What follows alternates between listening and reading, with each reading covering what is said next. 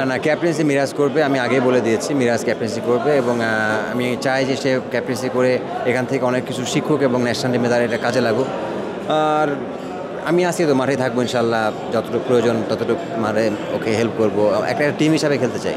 আপনি টিমটা নিয়ে কতটা সন্তুষ্ট? দেখুন খুলনা যে প্লেয়ারগুলোকে টার্গেট করেছিল ওভারঅল আমার মনে হয় সবগুলোকে পেয়েছে। ভালো একটা লোকাল সাইড হয়েছে। এখন ওভারসিজদের একটা অ্যাভেলেবিলিটির ব্যাপার আছে। আমরা যদি ওখান থেকে পেয়ে যাই তাহলে আমার মনে হয় ভালো একটা সাইড হবে। আমি জানি না বিপিএল নিয়ে আপনার কোনো আক্ষেপ আছে কিনা বিগত বছরগুলোতে বাট এইবার নতুন একটা শুরু। হয়তো আপনার নিজেরও মানে বেশ কিছু পরিকল্পনা থাকতে পারে। একটু যদি শেয়ার করতেন। না দেখেন এত বছর তো একটা ডিফারেন্ট টিমে ছিলাম কুমিল্লাতে। ওটা তো আসলে অনেক ডিফারেন্ট প্ল্যান ছিল সব কিছু আলাদা ছিল। এটা একটা নতুন এনভায়রনমেন্টে আসছি। আমার মনে হয় যে একটু নিজেকে মানিয়ে নিতে হবে এবং এখানকার টিমের ডিমান্ড কীভাবে আমাকে চাচ্ছে এটাও একটা বড় ব্যাপার। ওইভাবে আর কি চেষ্টা করব আমার আমার বেস্টটা দেওয়ার আপনার পার্সোনাল কোনো গোল আছে কিনা এই স্টেজে এসে?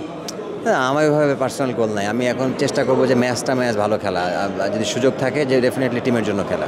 আমি আমার জায়গা থেকে অবভিয়াসলি আমি চেষ্টা করব এবং সাপোর্ট দিব সবাইকে। যারা সিনিয়র আছে অবভিয়াসলি তার সাথে তাদের সাথে আমার আন্ডারস্ট্যান্ডিং ভালো। এবং যারা জুনিয়র আছে অবভিয়াসলি আমি চেষ্টা করব ওদের সাথে একটা খুব ভালো একটা পরিবেশ তৈরি করা টিমের যেটা যে জিনিসটা ভেরি ইম্পর্টেন্ট আমি মনে করি এইটা করতে পারলে টিমের রেজাল্ট সম্ভব। জুনিয়র অনেকেরই তো হচ্ছে স্পন্সরের ব্যাপারে হচ্ছে ওই রকম ধারণা নাই। যদি কেউ ভালো পারফর্ম করে ইনশাল্লাহ মানে এম কে এস এর নজর ওদের দিকে থাকবে কিনা? না অফকোর্স আমরা তো বিপিএলে জুনিয়রদেরকেই আমরা আসলে টার্গেট করব যে যারা প্রমিজিং প্লেয়ার তাদেরকে আমরা দিব স্পন্সর আর আমার টার্গেট আছে। একদম শেষ প্রশ্ন মানে এটা বিপিএল এর বাইরে। সাকিব আল হাসান হয়তো মিরপুরে ইনশাল্লাহ আসবে। আপনি পার্সোনালি মানে চান কিনা যে মিরপুরে সে খুব ভালো মতো নিজের শেষ টেস্টটা খেলতে পারুক? এটা আপনি সাকিবকে প্রশ্ন করে দেখেন সাকিব নিজের মুখ থেকে বলবে আমি চাই কি না এটা ওই ভালো বলতে পারবে। এটা আমি না যারা ক্রিকেট লাভার আমি মনে করি তারা সকলেই চাই। থ্যাংক ইউ ভাই আসসালামু আলাইকুম। কালকে ইনশাল্লাহ।